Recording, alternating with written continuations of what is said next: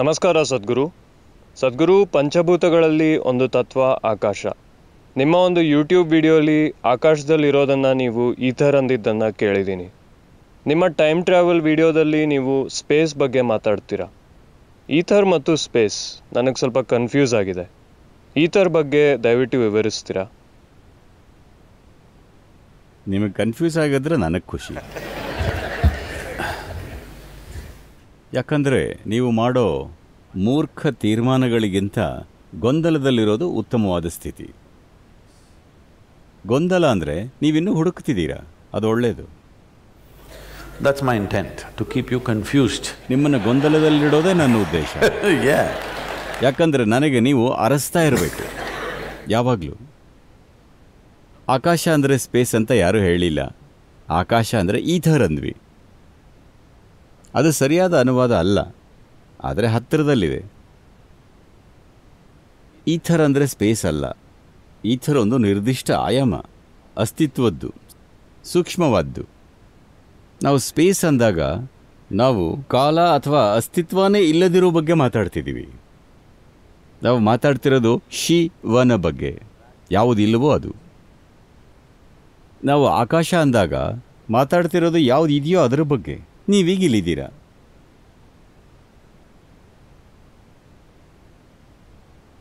ಮಾನವರಾಗಿ ನೀವಿಲ್ಲಿದ್ದೀರಾ?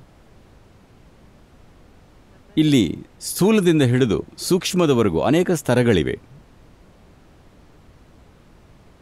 ನಿಮಗೆ ಮಲಬದ್ಧತೆ ಇದ್ದರೆ ನಿಮ್ಮೊಳಗೆ ಏನೋ ಸ್ಥೂಲವಾದ್ದು ಇರುತ್ತೆ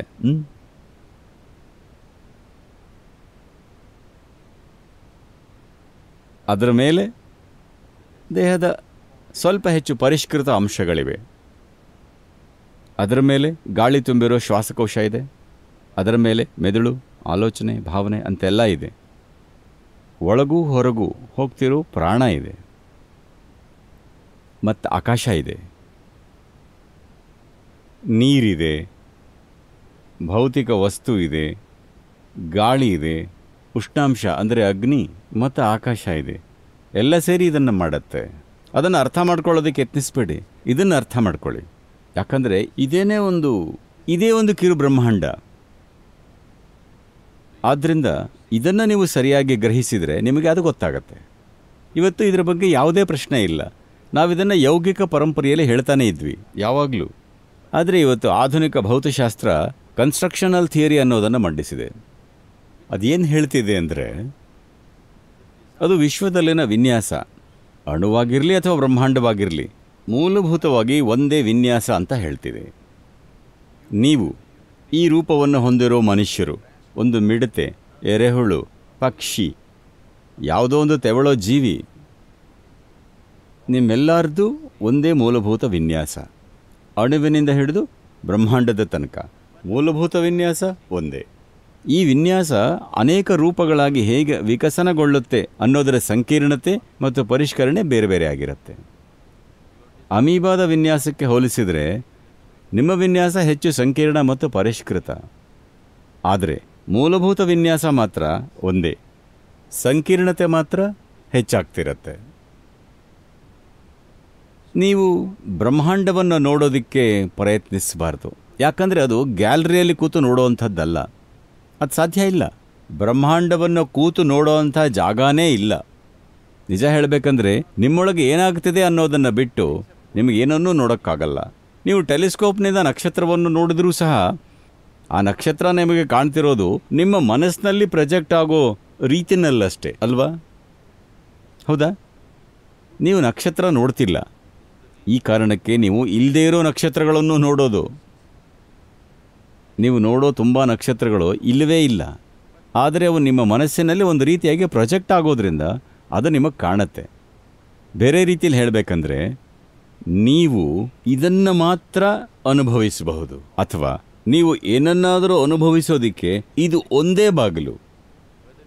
ನೀವು ತಿನ್ನೋ ಆಹಾರ, ಉಸಿರಾಡೋ ಗಾಳಿ, ನಿಮ್ಮ ಸುತ್ತಲಿರೋ ಜನರನ್ನು ಅಥವಾ ಬ್ರಹ್ಮಾಂಡವನ್ನು ಅನುಭವಿಸಬೇಕು ಅಂತಿದ್ರೆ ನಿಮಗದನ್ನು ಅನುಭವಿಸಕ್ಕಾಗೋದು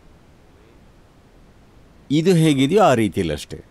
ಇದು ಬಹಳ ಸ್ಪಷ್ಟವಾಗಿದ್ದರೆ ಅದನ್ನು ಅದಿರೋ ರೀತಿಯಲ್ಲಿ ನೋಡ್ತೀರ.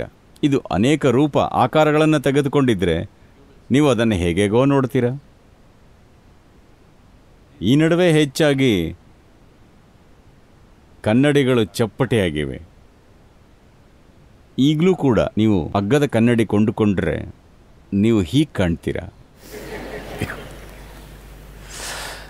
ಆದರೆ ನೀವು ಕೆಲವೊಂದು ತರಹದ ತಗ್ಗಿರೋ ಕನ್ನಡಿಯಲ್ಲಿ ನೋಡಿದರೆ ಖಂಡಿತವಾಗ್ಲೂ ಒಂದೇ ದಿನದಲ್ಲಿ ನಿಮ್ಮ ತೂಕ ಅಳಿಸ್ಬೋದು. ಹೋಗಿ ನಿಂತು ನೋಡಿ. ತುಂಬ ಚೆನ್ನಾಗಿ ಕಾಣ್ತೀರಾ?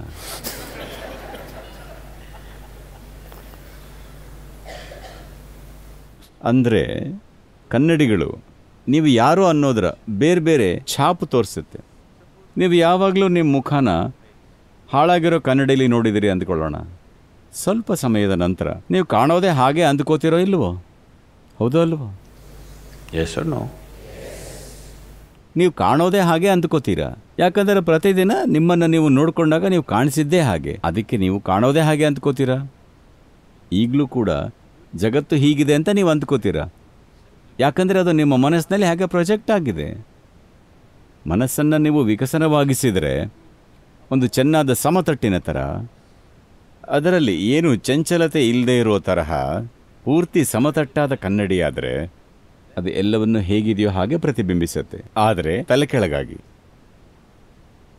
ನಿಮಗೆ ಗೊತ್ತಲ್ವಾ? ಕನ್ನಡಿಯಲ್ಲಿ ಎಲ್ಲನೂ ಹೀಗಿರುತ್ತೆ. ಅದನ್ನು ಹಾಳು ಮಾಡದೆ ತಿರುಗಾ ಮುರುಗಾ ಮಾಡೋ ಬುದ್ಧಿವಂತಿಕೆ ನಿಮಗಿರಬೇಕು. ನೋಡಿ, ಹೆಚ್ಚಿನವರಿಗೆ ದೋಸೆನೂ ಸರಿಯಾಗಿ ಮೊಗ್ಚಕ್ಕಾಗಲ್ಲ. ಅವರೇನಾದರೂ ದೋಸೆನ ಮಗಚೋದಕ್ಕೆ ಯತ್ನಿಸಿದರೆ ಅದು ದೋಸೆ ಹೋಗಿ ಇನ್ನೇನೋ ಆಗುತ್ತೆ. ಈಗ ಮನಸ್ಸಿನ ಬಿಂಬವನ್ನು ಅದು ತಿರುಚದೇ ಇರೋ ಥರ ಮಗುಚೋದಕ್ಕೆ ಒಂದು ರೀತಿಯ ನೈಪುಣ್ಯ ಬೇಕಾಗತ್ತೆ. ಇದೇ ಮನಸ್ಸಿನ ಸಮಸ್ಯೆ. ಒಂದು, ಅದು ಆಗಲೇ ಹೊಯ್ದಾಡ್ತಿರತ್ತೆ. ಅಥವಾ ಒರಟೊರಟಾಗಿದೆ. ಮನಸ್ಸನ್ನು ಹೇಗೆ ಇಟ್ಕೊಂಡಿದ್ದೀರೋ ಗೊತ್ತಿಲ್ಲ. ಆದರೆ ಖಂಡಿತವಾಗ್ಲೂ ಹೊಯ್ದಾಡ್ತಿದೆ. ನೀವು ಜಗತ್ತನ್ನು ಹೊಯ್ದಾಡ್ತಿರೋ ಕನ್ನಡಿಯಲ್ಲಿ ನೋಡ್ತಿರೋದ್ರಿಂದ ಅದು ಒಂದು ರೀತಿಲಿ ಕಾಣ್ತಿದೆ. ಅಲ್ಲದೆ ಹೆಚ್ಚಿನವರು ಅದನ್ನು ತಿರುವಿಯೇ ಹಾಕಿಲ್ಲ. ಯಾಕಂದರೆ ಅದು ಹಾಗೇ ಇರೋದು ಅಂದ್ಕೋತಾರೆ. ಆದರೆ ನಿಮಗೆ ಅದನ್ನು ತಿರುಗಿಸಬೇಕು ಅಂದಾಗ ತಿರುಚದೆ ಅದನ್ನು ತಿರುವಿ ಹಾಕೋದಕ್ಕೆ ಒಂದು ರೀತಿಯ ನೈಪುಣ್ಯ ಬೇಕಾಗತ್ತೆ. ಆದ್ದರಿಂದ ನಿಮಗೆ ಎರಡು ಸಮಸ್ಯೆಗಳಿವೆ. ಒಂದು ಕನ್ನಡಿಯಲ್ಲಿ ಕಾಣೋದು ತಿರುಚದೇ ಇರಲಿ ಅಂತ ಅದನ್ನು ಸಮತಟ್ಟು ಮಾಡೋದು. ಮತ್ತೀಗ, ಅದಕ್ಕಿಂತ ದೊಡ್ಡ ಕೆಲಸ ಅದನ್ನು ತಿರುಚದೆ ತಿರುಗಿಸೋದು. ನಿಮ್ಮ ಜೀವನದಲ್ಲಿ ನಾವಿನ್ನೂ ಆ ಹಂತಕ್ಕೆ ಬಂದಿಲ್ಲ. ಮೊದಲು ಕನ್ನಡಿಲಿ ಏನು ಚಂಚಲತೆ ಇಲ್ಲದೆ ಇರೋ ಥರ ಮಾಡೋದು. ನಾವಿನ್ನೂ ಅದರ ಮೇಲೆ ಕೆಲಸ ಮಾಡ್ತಿದ್ದೀವಿ. ಈ ಗಾಳಿ ನಿಮ್ಮ ಜೀವದ ಒಂದು ಭಾಗನ? ಏನು ಹೇಳದೆ ಇರೋರನ್ನ ಉಸಿರು ಕಟ್ಟಿಸ್ತೀವಿ ನಿಮ್ಮ ಜೀವ ಇಲ್ಲೆಲ್ಲ ಹರಡಿದೆ ಅಲ್ವಾ? ಇದು ಭೌತಿಕ. ಈ ಭೌತಿಕದಲ್ಲೂ ಕೂಡ ಸ್ಥೂಲ ಸೂಕ್ಷ್ಮತೆಯ ಹಲವು ಸ್ತರಗಳಿವೆ, ಅಲ್ವಾ? ದೇಹದಲ್ಲಿ ಸ್ಥೂಲವಾದ ಅಂಶಗಳಿವೆ, ಸೂಕ್ಷ್ಮವಾದ ಅಂಶಗಳು ಇವೆ. ಆಲೋಚನೆ, ಭಾವನೆ ಇದೆ, ನೀವು ಉಸಿರಾಡೋ ಗಾಳಿ ಇದೆ. ಅಂದರೆ ಜೀವ ಯಾವಾಗಲೂ ತೀರ ಸ್ಥೂಲತೆಯಿಂದ ಅನೇಕ ಸ್ತರಗಳ ಸೂಕ್ಷ್ಮತೆಗಳಲ್ಲಿದೆ. ನೀವು ಎಷ್ಟು ವಿಶಾಲವಾಗಿ ಹರಡ್ತೀರಾ, ನಿಮ್ಮ ಜೀವನದಲ್ಲಿ ಅಷ್ಟು ಸೂಕ್ಷ್ಮತೆ ಇರುತ್ತೆ. ನಿಮ್ಮ ರೆಕ್ಕೆಗಳನ್ನು ಎಷ್ಟು ವಿಸ್ತಾರವಾಗಿ ಹರಡ್ತೀರೋ ಅಷ್ಟು ಸೂಕ್ಷ್ಮತೆ ಸಾಧ್ಯ. ಈಗ ನಾವು ಆಕಾಶ ಅಂತ ಕರಿತಿರೋದು ಜೀವನದ ಒಂದು ಸೂಕ್ಷ್ಮ ಆಯಾಮ. ನೀವು ಆಕಾಶನ ಹೀರಿ ತೆಗೆದರೆ ನಿಮಗೆ ಇಲ್ಲಿರೋಕ್ಕಾಗಲ್ಲ ಹಾಲ್ನಲ್ಲಿರೋ ಗಾಳಿನ ಹೀರಿ ತೆಗೆದ್ರೆ ನಿಮಗೆ ಇಲ್ಲಿರೋಕ್ಕಾಗಲ್ಲ ನಿಮಗದು ಕಾಣದೇ ಇದ್ರು. ಅದು ನಿಮ್ಮ ಕೂದಲಿಗಿಂತ ಹೆಚ್ಚು ಮುಖ್ಯವಾದದ್ದು. ಯಾಕಂದರೆ ಜಗತ್ತಿನಲ್ಲಿ ಖಂಡಿತವಾಗಿ ಕೂದಲಿಗೆ ಕೂದಲಿನ ಆರೈಕೆಗೆ ಹೆಚ್ಚು ಹಣ ಖರ್ಚಾಗತ್ತೆ. ಖಂಡಿತವಾಗಲೂ ಮೆದುಳಿನ ಆರೈಕೆಗಿಂತ ಹೆಚ್ಚು. ನೋಡಿ, ನಮ್ಮ ಮೌಲ್ಯಗಳು ಎಲ್ಲಿವೆ ಅಂತ. ನಿಮ್ಮ ಕೂದಲನ್ನೆಲ್ಲ ಕಿತ್ತರೂ ನೀವು ಬದುಕಬಹುದು. ನಿಮ್ಮ ಕಿವಿ ಕತ್ತರಿಸಿದ್ರೂ ನೀವು ಬದುಕಬಹುದು. ನಿಮ್ಮ ಮೂಗು ಕತ್ತರಿಸಿದ್ರೂ ನೀವು ಬದುಕಬಹುದು. ಆದರೆ ನಾನು ನಿಮಗೆ ಕಾಣಿಸದೇ ಇರೋ ಗಾಳಿನ ಹೀರಿಬಿಟ್ರೆ ಹೆಚ್ಚಿನ ಸಮಯ ನಿಮಗೆ ಗಾಳಿ ಇದೆಯೋ ಇಲ್ವೋ ಅನ್ನೋ ಅರಿವೂ ಇರಲ್ಲ. ಗಾಳಿನ ಹೀರಿಬಿಟ್ರೆ ನೀವು ಒಂದು ಕ್ಷಣನೂ ಬದುಕಲ್ಲ, ಅಲ್ವಾ? ನಾವು ಆಕಾಶನ ಹೀರಿಬಿಟ್ರೆ ನೀವು ಒಂದು ಕ್ಷಣನೂ ಬದುಕಲ್ಲ. ದೇರ್ ಇಸ್ ಅ ವೆರಿ ಏನೋ there is a temple in Karnataka ಕರ್ನಾಟಕದಲ್ಲಿ ಒಂದು ದೇವಸ್ಥಾನ ಇದೆ. ಅನ್ನಪೂರ್ಣೇಶ್ವರಿ ದೇವಸ್ಥಾನ. ಕರ್ನಾಟಕದವ್ರು ಯಾರಾದರೂ ಇದ್ದೀರಾ? ನೀವು ಅನ್ನಪೂರ್ಣೇಶ್ವರಿಗೆ ಹೋಗಿದ್ದೀರಾ? ದೇವಸ್ಥಾನದ ಹಿಂಭಾಗದಲ್ಲಿ. ಅಲ್ಲಿ ತುಂಬ ಜನ ಹೋಗಲ್ಲ.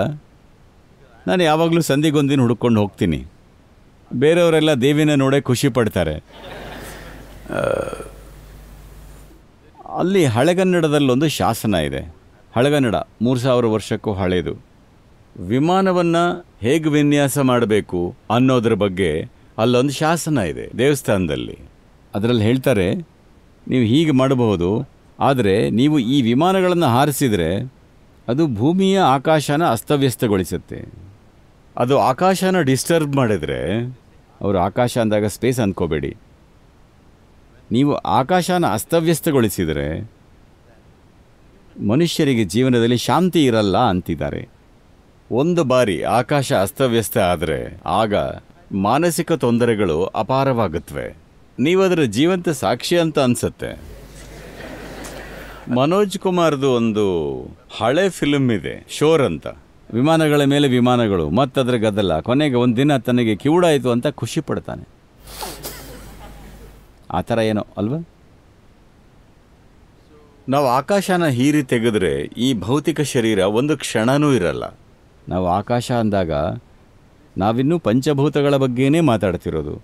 ನೀವೇ ನಿಮ್ಮ ಪ್ರಶ್ನೆಯಲ್ಲಿ ಹೇಳಿದ ಹಾಗೆ ನೀವು ಅಂದ ಹಾಗೆ ಪಂಚಭೂತಗಳಲ್ಲಿ ಆಕಾಶನೂ ಒಂದು. ನಾವು ತತ್ವಗಳು ಅಂದಾಗ ನಾವು ಖಾಲಿ ಜಾಗದ ಬಗ್ಗೆ ಮಾತಾಡ್ತಿಲ್ಲ. ನಾವು ಇನ್ನೊಂದು ವಸ್ತುವಿನ ಬಗ್ಗೆ ಮಾತಾಡ್ತಿದ್ದೀವಿ ಭೂಮಿಯ ಥರ. ನೀರಿನ ಥರ, ಗಾಳಿಯ ಥರ, ಅಗ್ನಿಯ ಥರ ನಾವು ಪಂಚಭೂತಗಳ ಇನ್ನೊಂದು ಅಂಶದ ಬಗ್ಗೆ ಮಾತಾಡ್ತಿದ್ದೀವಿ. ಇನ್ನೊಂದು ವಸ್ತು. ಆದ್ದರಿಂದ ಆಕಾಶ ಅಂದರೆ ಖಾಲಿ ಜಾಗ ಅಂದ್ಕೋಬೇಡಿ.